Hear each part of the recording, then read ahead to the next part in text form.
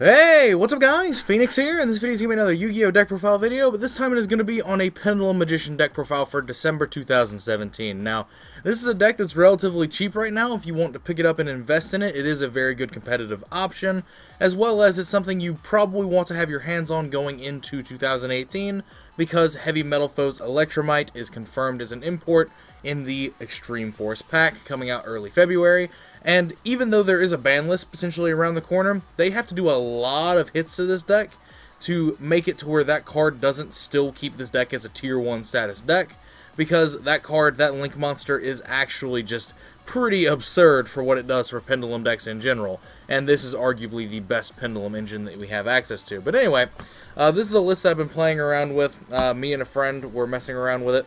Uh, this is actually pretty close to the list that he played at ARG Orlando. Uh, but this is, uh, he was playing my deck and my cards. but anyway, uh, this is a list that I've been messing around with as well.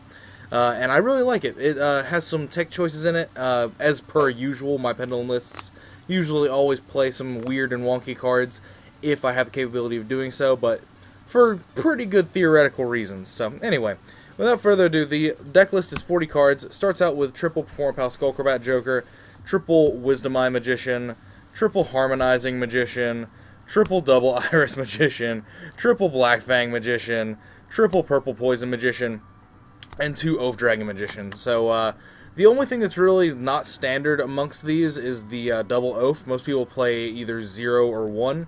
Uh, this is a card you really just always kind of want to have in your scale because it is a card that allows you to just continuously add back your Harmonizing or your Wisdom Eyes turn after turn, which allows you to play around uh, evenly matched. Like if you get evenly matched and you have a Wisdom Eye that you keep have you keep recycling back to your hand every turn, uh, it's a much less impactful uh, evenly matched against you. But it's a lot of Magician cards. It's legit Skullcrobat Joker plus 17 Magician cards.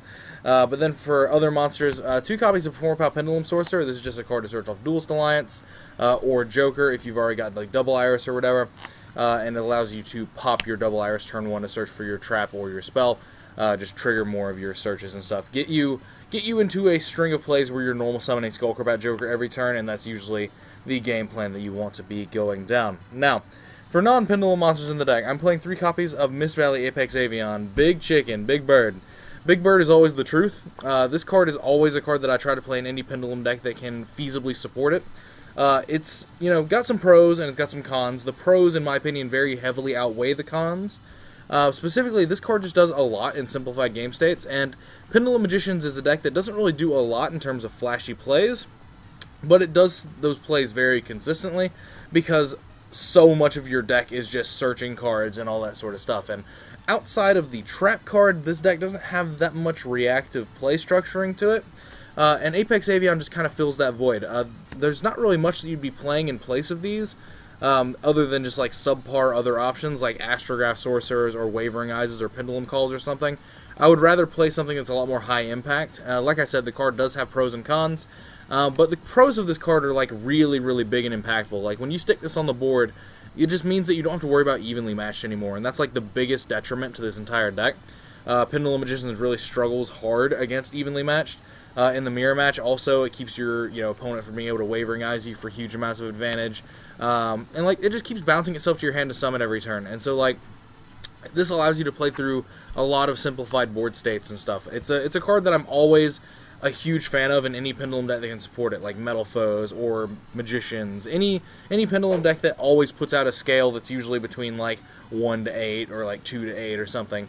Anything that can summon this almost every time it has a pendulum scale up is a card that I try to play this in, and it's usually always the best card in my deck because you just flop it on the board, and it's huge. It's a huge body. 2700 is a very respectable big body uh, in its own right.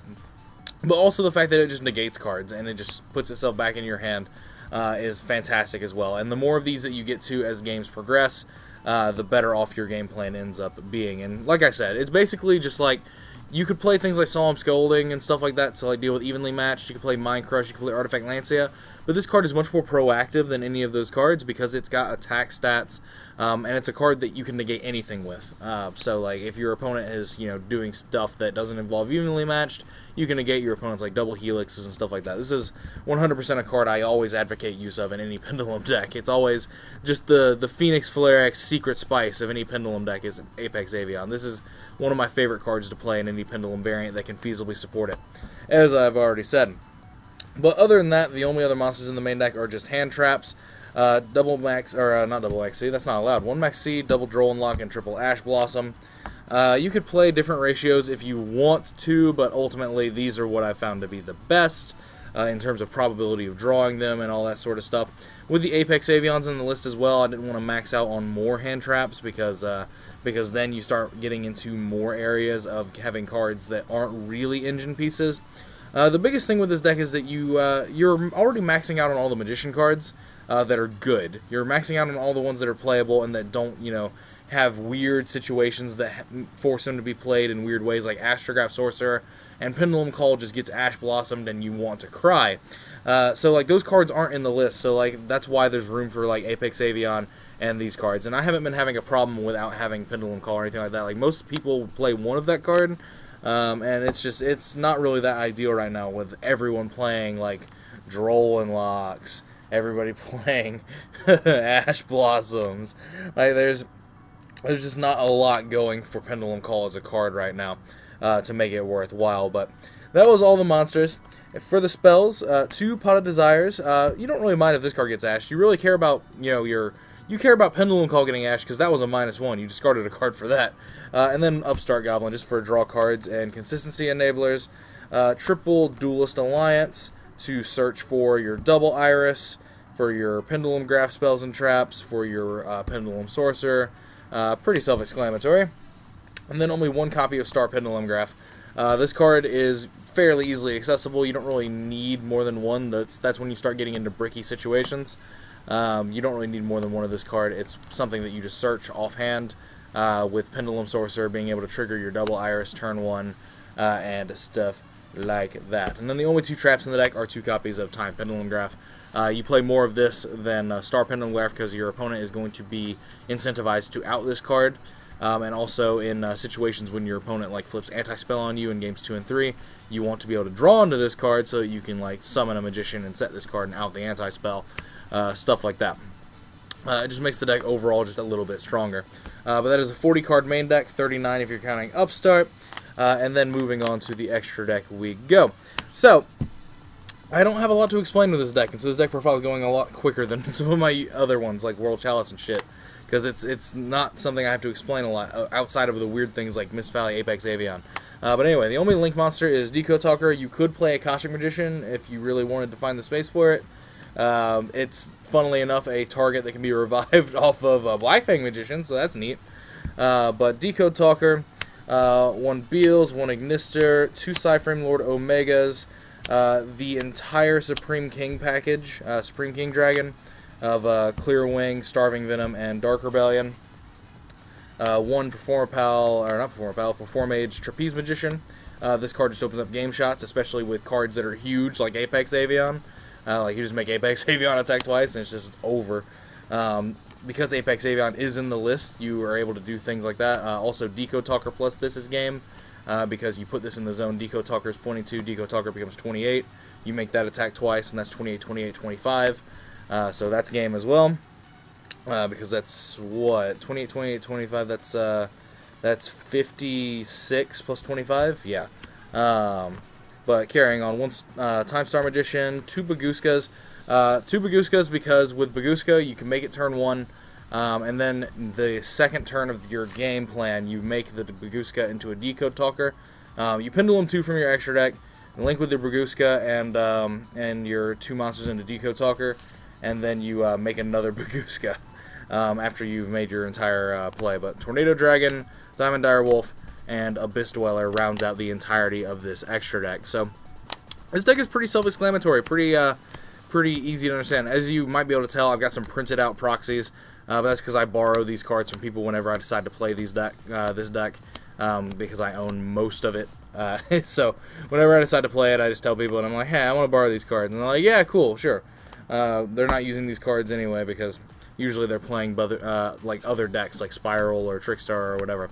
Uh, but anyway, that is the deck list. I really like Pendulum Magicians, and like I said, this deck is relatively cheap. Like, you can get the entire core of this deck for fairly cheap in terms of like all the Magician monsters, Astrograph Sorcerers, and stuff like that.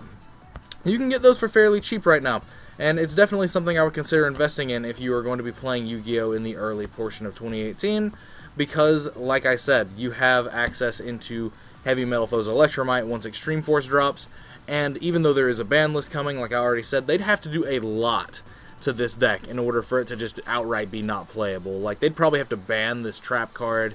Even then, the deck could rotate back to Ariadne status because Electrumite can trigger that reasonably well. Uh, they'd have to do a bunch of different nonsense. Like, they'd have to, like, limit Harmonizing Magician. Like, there's, there's way too many good cards in this deck um, for like what they would need to hit. They'd have to hit Wisdom Eye again, which I don't think they are really planning on doing, or else they would have hit it or Joker like sooner. They'd have to do a lot of hits to make this deck not tier one, and even then with Electrumite, it probably would still just amalgamate into some form of tier one status hybrid because of the fact that we have so many other good pendulum engines in the deck that can work with this. Like this deck, this this engine plays very well with Performapals. Uh, strangely enough. Uh, and like we're already running Pendulum Sorcerer. But yeah, this is this is the current list that I've been messing around with. Uh, feel free to give it a try. I've been having a lot of positive results with it.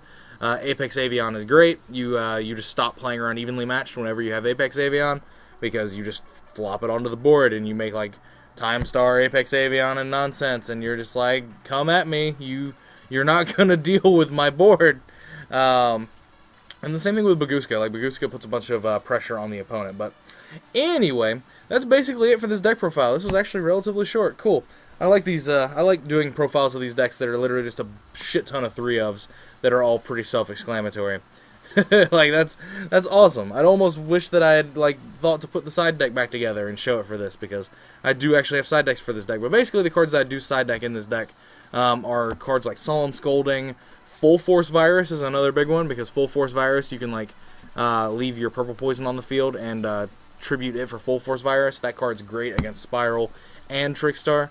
Uh, that's a card that's in the side deck. Scolding is in the side deck for when you go first. Like you can put up uh, Apex Avian plus Scolding boards. Like you just you needed something to side the hand traps out for. Uh, so like Scolding is just one of those cards.